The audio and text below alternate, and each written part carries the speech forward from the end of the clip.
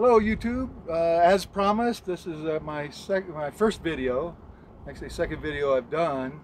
Um, this is going to be about the HVAC unit that I put on the uh, on the back of our RV. This is a mini split system. It's an air conditioner, a heater, a dehumidifier, and a whole house fan all in one unit. The good thing about these units are that they're so energy efficient. The, uh, this thing uses less than 460 watts on high. And once it reaches its set point, those, that wattage goes down to about one fourth of that. Okay. And so we're able to run this 24 hours a day, seven days a week, 365 days a year without ever having to plug into a campground. And we just leave it on. We don't need to bother with it. We've always got uh, very comfortable temperatures inside. And it's been just a change in the entire camping experience to be able to have that kind of a comfort level. I wanted to explain today how I installed this and, and a couple of, uh, uh, of the uh, technical specifications for this. Uh, this is a 24.4 SEER unit. Now what that means in layman's terms is that uh, it's about uh, the BTUs. This is an 11,000 BTU unit and at 24, uh, but it's got a, the, uh, the BTUs also has a, uh, a turbo mode in, in, it as well. They go, they can even go higher. But 24.4 SEER basically means that this unit will run 24.4 BTUs for one watt that that is that it, you know that is expended. So that if you were to calculate that out, then the, this uh, 11,000 plus BTU unit, you know, at uh, 120 volts, okay, is going to end up less than 460 watts. And I know that because I've also plugged this unit into a kilowatt meter, and the highest it would go, and this was when the the inside ambient temperature was about 85 degrees, and we, when we first turned it on, and 459 watts was the very highest wattage that would show on the kilowatt meter. And so and that also um, correlates with the you know with the BTUs you know that is advertised with the SEER rating that's advertised and so this is exactly how it's supposed to operate. Now how, what what when I got this unit this unit comes pre-charged with Freon. So basically there's three parts to it. There is the outside unit, there's the inside unit that we'll show you later, and then there is the, the, uh, the copper lines connecting the two. The outside unit is pre-charged with Freon, and so you do not have to take it to a a air conditioner uh, a service technician in order for them to charge this Freon. It's the Freon is already in it when you receive it, you know, uh, from Amazon. After you connect up the inside unit and mount it inside, and mount the outside unit, and you connect the copper lines and the control the control uh, electrical cables, then all you have to do is you turn two valves on the inside of this part right here and that pierces the copper line and then it allows the freon that's in here to go throughout the system and that's how it charged the entire system then, it, then is charged with freon uh, but now what I did to mount this there's lots of ways and lots of places you can mount this on a trailer you can mount it on the front the tongue of the trailer on a uh, motorhome you could mount it on a hitch platform. You could mount it uh, on a on a travel trailer uh, on the or a fifth wheel on the on the bumper along with a Class C like we have. I've mounted it to the bumper. Now, so what I did basically is I went on Amazon and I and I bought two what's called bed extenders. These are truck bed extenders. And basically what these are is if you put one of these into the receiver hitch of a truck, it allows you to carry 16 foot long boards because it sticks out. And so there's an L shape, okay? So what I did, I took these two L-shaped uh, uh, two by two beams and I, and I put two four inch bumper uh, receiver hitches, you know, um, uh, that I that I bolted directly to the uh, four-inch bumper. Now I I should have moved my ladder out of the way, but these are the uh, the uh, the the two uh, square brackets, and the receiver hitch is right back here, and you can see the pin, the receiver pin, right there. On the other side is the same thing. Okay, uh, it's even uh, you can even see it a little better. The receiver hitch is right here. This is where it bolts to the square bumper, and you can see then the uh, receiver pin right here that that connects this, and that way this is able to be uh, vertical to the wall. And then what I did is there's four mounting bolts. It's the only mounting bolts that has to that has to be mounted on this type of an air conditioner on the outside unit. And they're carriage bolts, and so the, the these feet are already have square holes in them, and that way you don't have to back these up. All you got to do is just you have your hole through, and you can just put the backup nut on, tighten it up, and these are very solid. I've waited a year before I did any kind of video or uh, any kind of recommendation on this unit. I wanted to make sure that this unit was exactly what the uh, nomadic, uh, uh, the nomad or the boondocker needed in order to uh, maintain a higher level of comfort.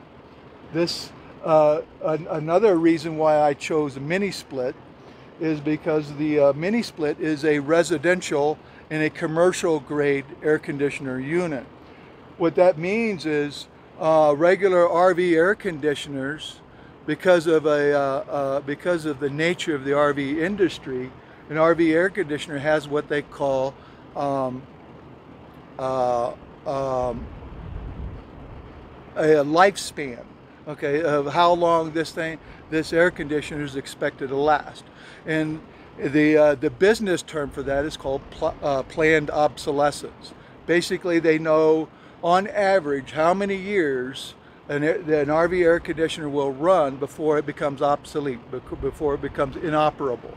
Okay, sometimes that it can run uh, fewer years than that. Sometimes it can run longer years, but the, but they plan for that air conditioner to become obsolete, you know, at that time. This is a uh, residential and a commercial grade air conditioner, which means that this thing is built to last 30 years. It, you know, the, there is no planned obsolescence, you know, on the on the design or functionality of this air conditioner. Uh, these air conditioners, uh, Midea is the largest air conditioner manufacturer in the world. In every other country but the United States, all other countries use mini split systems, and they've done so for over 40 years. So mini splits are very well known, and and and the design has become uh, to the place where they can offer 30-year guarantees and warranties on these without having to worry about whether or not those warranties would uh, would fail.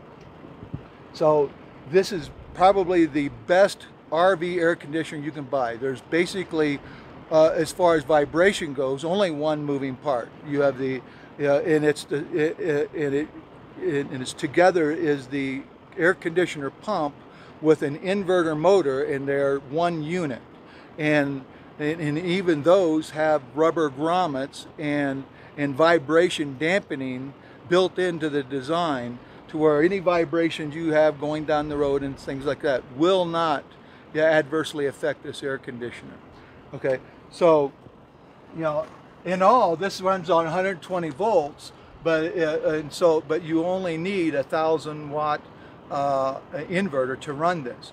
You can run it on less, but if you have other needs for 120 volts in your camper, that's why I say 1,000 watts. You know, all you need is a, for output is is your is the wattage that this actually uh, uh, consumes, which is 459 watts on high, and then you add in whatever inefficiencies of the air of the inverter that you currently have, and so uh, normally a 750 watt uh, inverter would easily run this. You know, we have a 3,000 watt inverter in ours, uh, you know, simply because you know we plan to go on all electric on all of our devices. Um, uh, we're, we're going to be putting in induction cooktop and uh, co convection microwave half-time oven below it and take out the inefficient microwave that we have currently installed. That's one of my future upgrades. Um, how, then anyways, after uh, as far as the installation, after I mounted this with these just four bolts, then I just put a, a shroud, a box made of UHMW around this because uh, the, the, the copper lines are 15 foot long and you cannot shorten them. They use the, the copper lines are used as a res reservoir for the extra freon. And so the what I did was the excess copper lines, I coiled them up underneath this and then built a box around the coil of, of copper lines. Now we're going to take you to the inside and we'll show you the uh, uh, the inside unit and I'll also show you the, the wattage that it puts out. Okay, it, Okay, we're on the inside. I do the uh, remainder of the video. Uh, I wanted to show you first uh, a couple of things about how to mount this. Uh, the inside unit comes with a plate that you can just screw to the wall.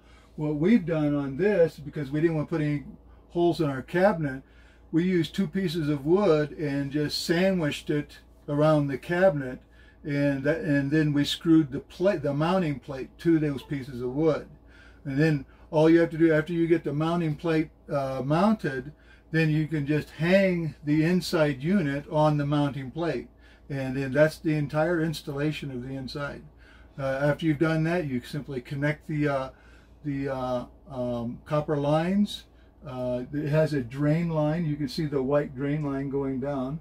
Okay, that way when you're in dehumidifier mode, it drains that water out of the of the RV, that, you know, of any humidity that's inside. Okay, now I'm going to go ahead and show you uh, about how much power this actually uses. Okay, I believe this covers everything uh, you might need to know about installing a mini split system on your RV. Uh, one thing I do want, uh, I do need to mention uh, that was might have been vague is uh, it, the most important thing is to select a mini split uh, system that has the highest SEER value that, that you can afford. Uh, the higher the SEER value, the more efficient it is, the less uh, battery power and the less solar panels that you need to run it. Uh, if you have any questions, uh, please leave them in the comments. I'll try to answer every every question.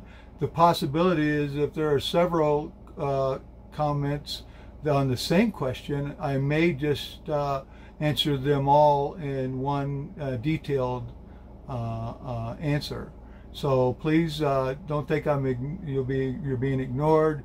look through all the comments to see if your question has already been asked by someone else, and then I've already answered it. Um, one thing that Randy did not was I now I wasn't able to mention in Randy's video is uh, about the question of money. Every design I've done is entirely free. Um, uh, in, in, fact, uh, those uh, um, inventions that are uh, that apply, I've already uh, and will apply for provisional patents for them. So nobody else can take these and take advantage financially of people who need these things the most. This is entirely free. I, my whole purpose is to bring a level of comfort to the RV community that that equals you know that that you can find in your own uh, in an apartment or whether you're plugged into an RV park.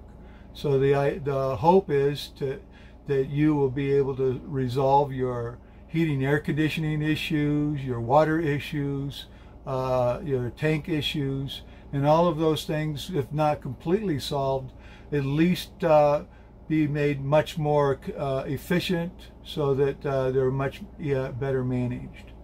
Um, uh, again, I will be providing some of these inventions uh, and and upgrades We'll have um, instruction, in, um, schematics, drawings.